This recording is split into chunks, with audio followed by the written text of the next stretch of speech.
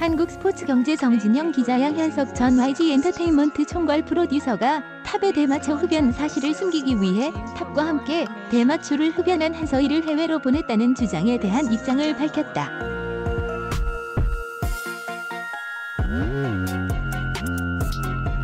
양윤석은 20일 YG 엔터테인먼트를 통해 연일 계속되는 의혹들로 인해 많은 분께 심력 끼쳐드린 점 대단히 죄송하다.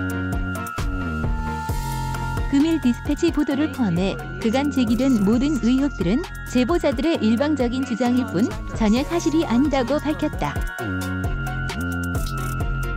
또 YG는 이러한 사안에 대해 언론 대응이나 입장을 자제하고 있다며 정확한 사실관계는 수사기관을 통해 면밀히 밝히는 게 옳다고 생각하기 때문이다.